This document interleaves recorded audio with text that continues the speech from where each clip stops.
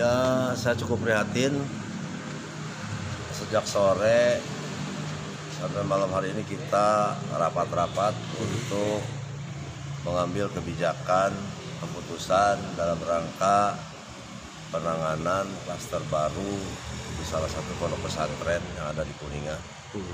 Untuk itu saya mohon pertama kepada pengurus pengelola pondok agar segera melakukan langkah-langkah konkret ya dari mulai memisahkan mengisolasi santri-santrinya di tempat-tempat isolasi yang baik dan sesuai standar penanganan. Dan kami pun menyediakan rumah sakit kami termasuk ex rumah sakit Citra Ibu yang sudah kami persiapkan untuk barangkali eh, akan ditempati untuk isolasi para santri yang terdeteksi positif COVID-19. Selanjutnya kami juga menghimbau, menginstruksi, bahkan menginstruksikan untuk sementara ditinjau ulang atau berhentinya kegiatan belajar mengajar dengan tatap muka di lingkungan pondok pesantren. Sekaligus eh, sterilisasi bahkan bila dimungkinkan santri-santri yang sehat sebaiknya lah, seperti pada umumnya untuk dirumahkan dulu. Dengan misalnya dijemput oleh orang tua orang tuanya. Saya yakin langkah-langkah ini yang terbaik untuk sementara yang bisa kita lakukan. Tidak ada pilihan lain. dari Pemda. Lalu Hmm. perlu diingat mungkin itu kan Hmm. lingkungan pondok pesantren itu kan juga ada kegiatan lainnya seperti komunikasi dengan penduduk setempat, misalnya baik misalnya catering, tempat jajanan, lalu laundry dan lain sebagainya.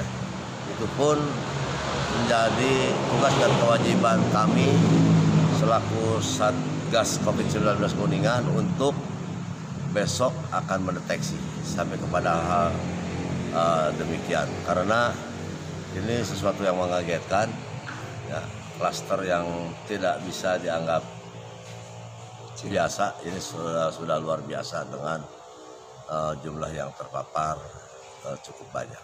Pak, apakah dengan jumlah terpapar ini, apakah Kuningan akan berpotensi ke zona merah, Pak? Saya kurang tahu ya. Yang penting saya selaku ketua Sat- Satgas COVID-19 saya transparan, terbuka untuk mendeteksi, untuk menginformasikan kepada semua pihak terutama kepada Pak Gubernur ke apa ke Satgas provinsi ya Pak. Satgas provinsi maupun Satgas eh, COVID-19 pusat. Tidak ada instruksinya jelas kok. Jangan ada yang ditutup-tutupi karena ini sudah menjadi persoalan bersama dan menjadi kewajiban bersama untuk sama-sama mematuhi dan menanganinya.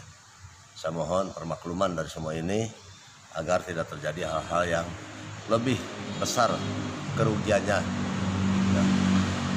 Pak untuk itu ada penyemprotan nggak Pak Dis disinfektan itu Pak? Wah ada. Dekontaminasi pernah, gitu, Kalau Pak. tidak salah di Husnul pernah kita lakukan Untuk pesantren lain Pak barangkali ada penanganan. sama ini pun berlaku untuk semua pondok pesantren ya eh, yang sudah melaksanakan kegiatannya lagi untuk sementara meninjau ulang lah kebijakan-kebijakannya demi kebaikan bersama termasuk hmm, saya himbau pada masyarakat luas agar tetap waspada hindari kerumunan-kerumunan pergunakan masker seperti begini.